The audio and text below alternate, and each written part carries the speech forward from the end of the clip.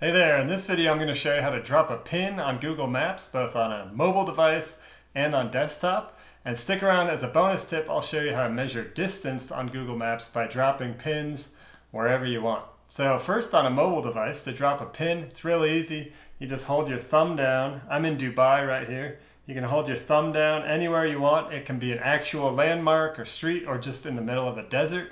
Doesn't matter. So I've dropped a pin right there. And some things I can do from that option are I can share, I can save that pin. So if I want to remember where I am, go back there at a future date, I can get directions to it and just click save.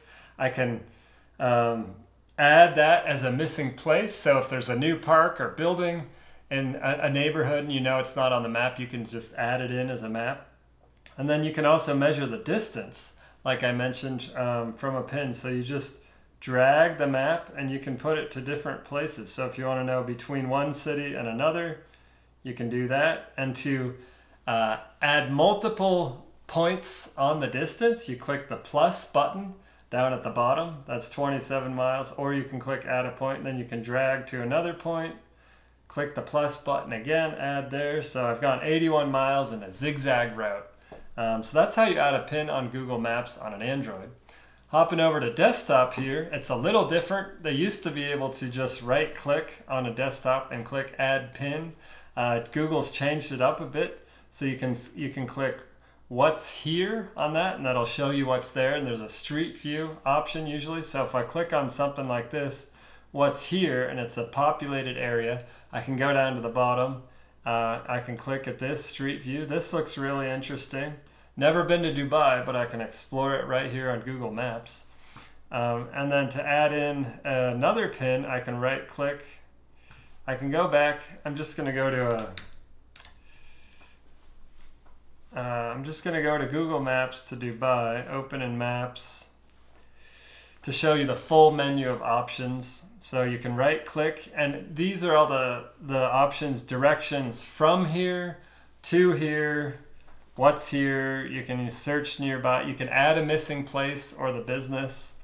Um, so let's say we want to have directions to here. You can see that a red pin just dropped in there. So you can you can grab this line.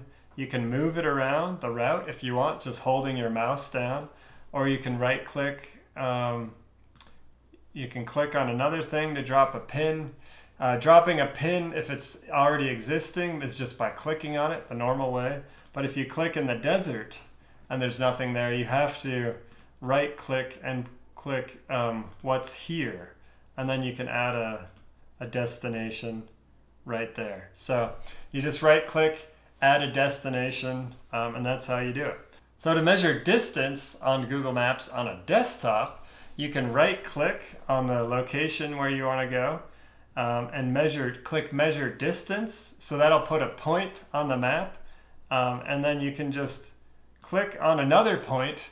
So if you want to see the distance between these two buildings, I just did that. You clicked on a point, it says distance 11.91 miles right at the bottom. So if you're thinking about walking um, from this point to this point and you want to know the distance, it's 11 miles. But that route is through water, so you'd probably be swimming on there, which makes it a little bit tricky. Um, so you might want to click um, different points on the map like this. You can click along a route as many times as you want and get actual directions there. So that's a little bit how you do it. Um, it's kind of fun. You can, if you're one of those super fit people running a 100 mile race and you're going across a mountain range, you can click all the points on the map, measure your 100 miles, chart out your course. That's how you do it.